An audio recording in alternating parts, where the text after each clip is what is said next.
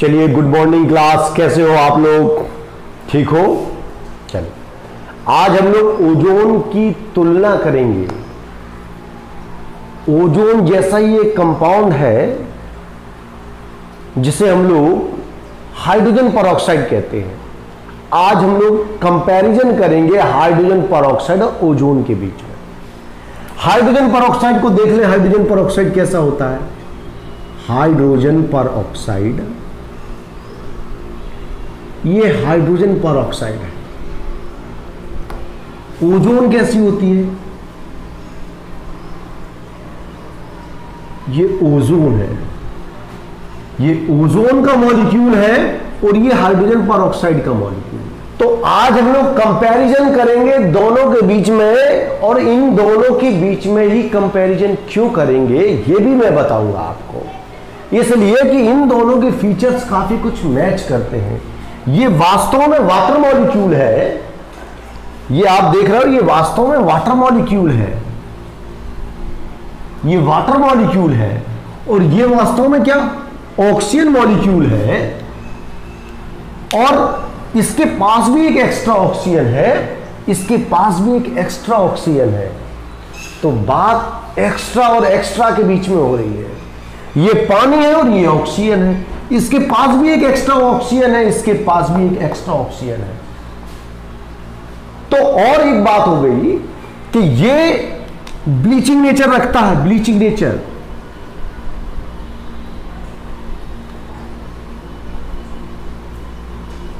दोनों के पास bleaching nature होता है। ब्लीचिंग नेचर हाइड्रोजन परऑक्साइड के पास भी होता है ब्लीचिंग नेचर ओजोन के पास भी होता है। ये इसको हम लोग बोलते हैं एच पर ऑक्साइड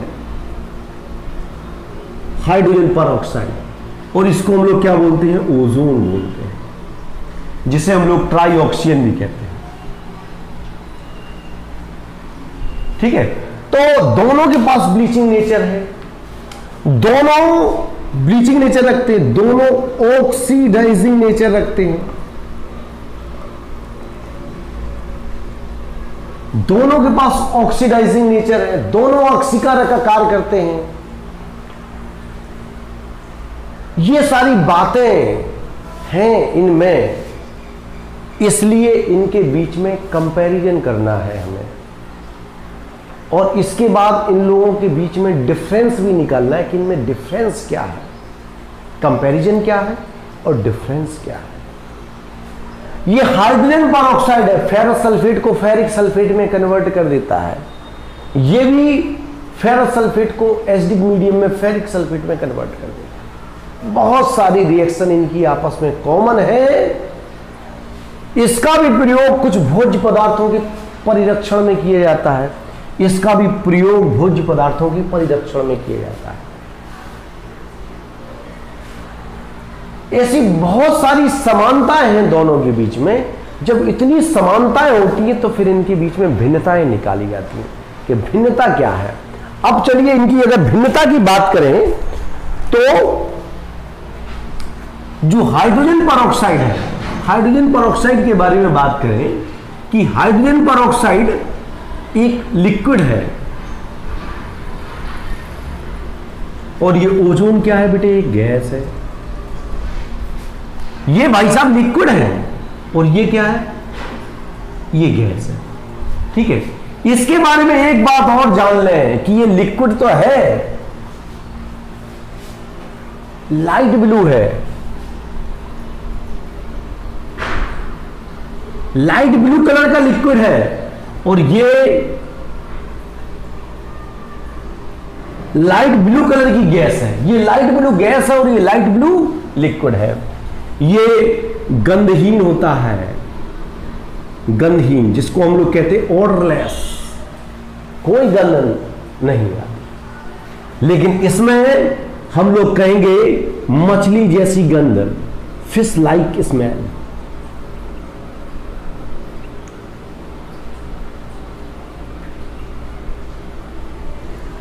मछली जैसी गंध आती है इसमें। अच्छा। एक और बात कि ये एच के संपर्क में आएगा तो कोई क्रिया नहीं करता हाइड्रोजन पर और ये एच के संपर्क में आ गई तो एचजी का तल नष्ट हो जाएगा, तल नष्ट।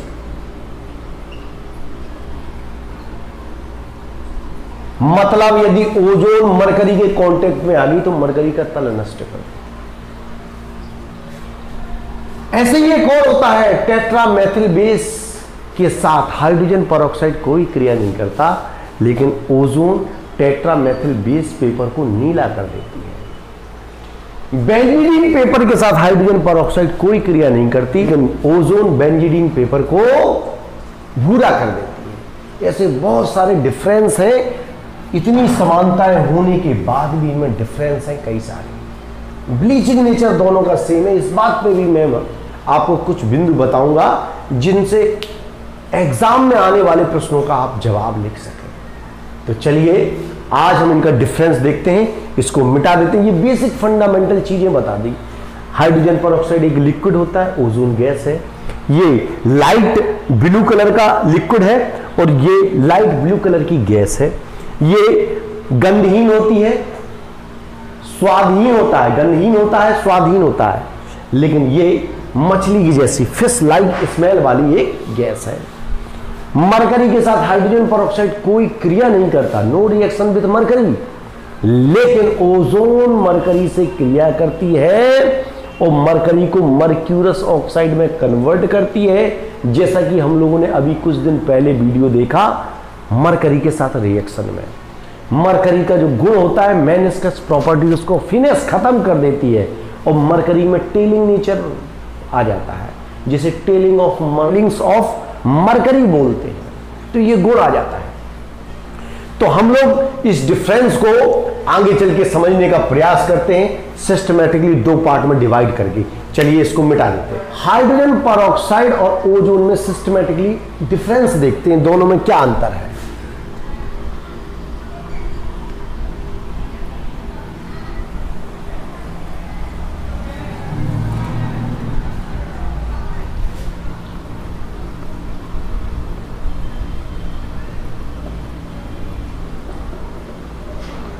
हाइड्रोजन पर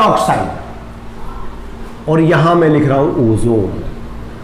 दोनों में डिफरेंस देख रहा है, और जो पहले नंबर का जो डिफरेंस है हाइड्रोजन पर में ये पहला पॉइंट है light blue colour liquid light blue colour का लिक्विड है, हल्के नीले रंग का द्रव है। और इसके बारे में एक बात और, ये गंधहीन है, यानी ऑर्डरलेस और ये एक बात और लिख सकते हैं, स्वादहीन है। गंधहीन है और स्वादहीन है। यहाँ लिखेंगे, ये लाइट ब्लू कलर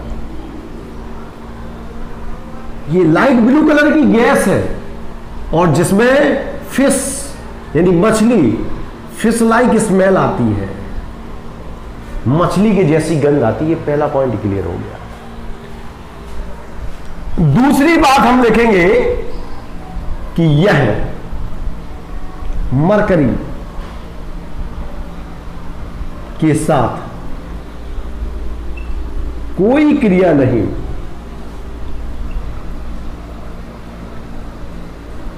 नहीं करता है। मरकरी के साथ कोई क्रिया नहीं करता कौन हाइड्रोजन पर ऑक्साइड लेकिन यहाँ हम लिखेंगे, यह मरकरी का तल नष्ट कर देती है।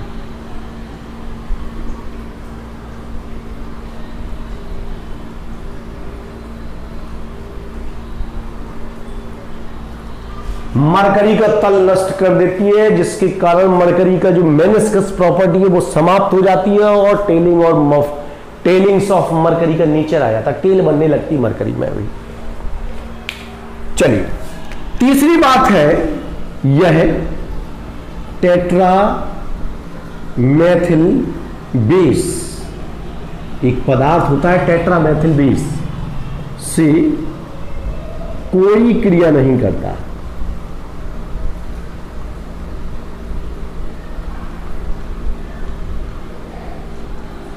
टेट्रामेथिल बेस के साथ कोई क्रिया नहीं करता।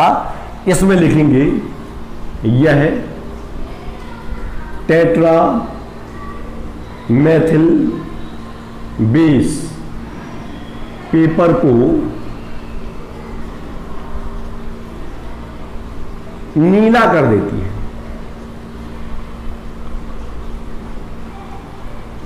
टेट्रामेथिल बेस पेपर को नीला कर देती है। अगली बात हम लोग लिख सकते हैं। तीसरी बात, यह है बेंजीडीन पेपर से कोई क्रिया नहीं करता है।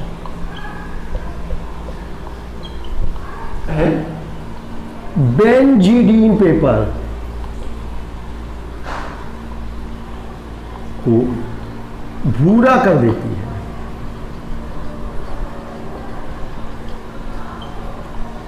बेंजीडीन पेपर को ओजोन भूरा कर देती है, लेकिन बेंजीडीन पेपर हाइड्रोजन परऑक्साइड से कोई क्रिया नहीं करता, इतनी सी बात है। चलिए, पांचवा पॉइंट लिखेंगे, इसके बारे में यह अम्लीय केमनफोर को रंगहीन कर देता है।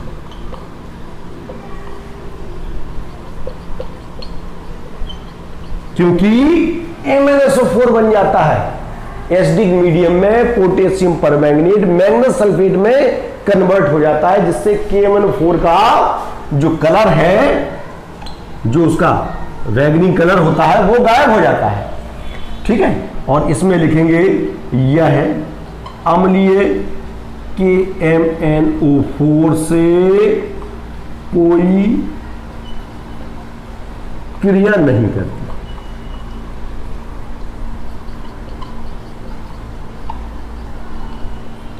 कोई क्रिया नहीं करती। छठवीं बात जो है, अम्लीय पोटेशियम डाइक्रोमेट। अम्लीय पोटेशियम डाइक्रोमेट, यह है अम्लीय H प्लस का मतलब होता है एसिडिक मीडियम जहाँ H प्लस लिखा जाता है, उसका मतलब होता है अम्लीय माध्यम। और जहाँ OH माइनस लिखा होता है, उसका मतलब होता है क्षारीय माध्यम। और जहाँ H2O लिखा होता है, उसका मतलब होता है उदासीन माध्यम यानी न्यूट्रल मीडियम इतनी सी बात।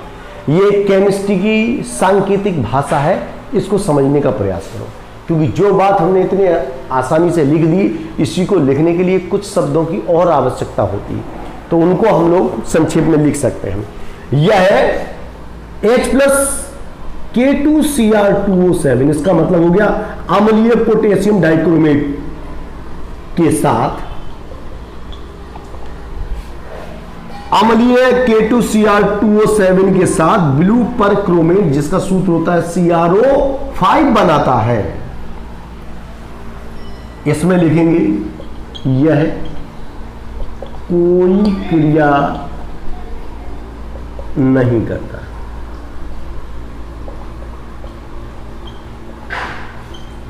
कोई क्रिया नहीं करता। ठीक है? चलिए, एक डिफरेंस और दोनों में नोट किया जा सकता है। नंबर एक एस टू टू और इधर लिखा है मैंने ओजोन एक डिफरेंस और नोट किया जा सकता है। सेवेंथ नंबर का कि यह टीआईएसओ फोर का होल ट्वाइस इसको कहते हैं टाइटेनियम सल्फेट के साथ नारंगी।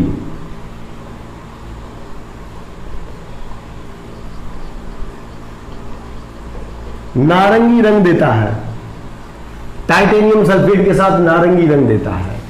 इसमें लिखेंगे, यह कोई क्रिया। नहीं करती